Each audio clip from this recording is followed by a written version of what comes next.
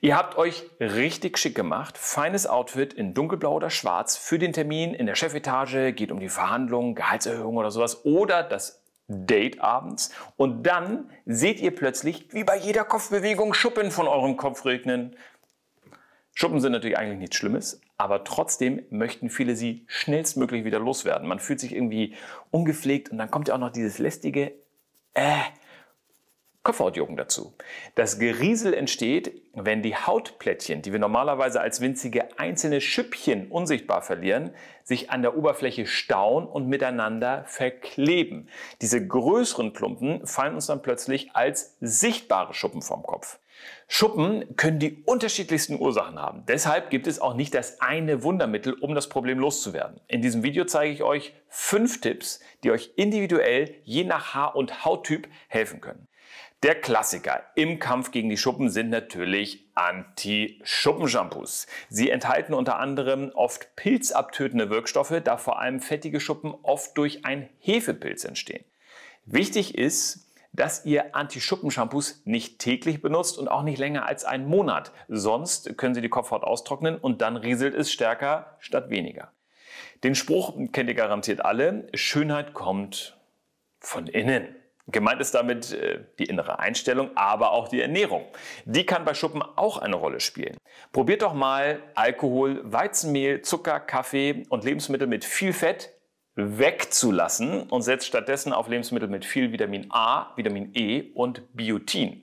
Diese Hautvitamine liefern euch unter anderem Eigelb, oh, auch richtig geil hier, Sojabohnen, Naturreis, Erbsen, Spinat, auch richtig lecker und hier natürlich auch Karotten und mein absolutes Lieblingsfrühstück, Haferflocken. Wenn es dann besser wird, habt ihr die Ursache für die Schuppen gefunden.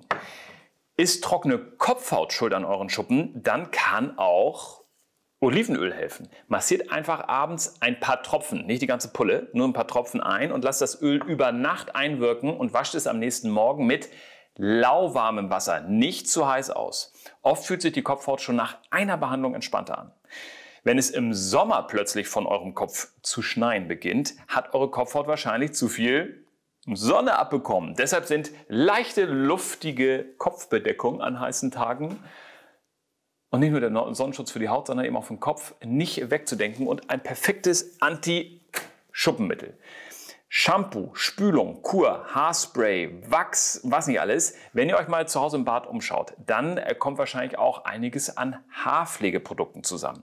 Für eure Haare sind so viele verschiedene Stylingprodukte und tägliches Waschen und vielleicht auch noch Föhn on top, allerdings eher eine Strapaze als Pflege. Und dann fängt die Kopfhaut an zu schuppen und zu jucken.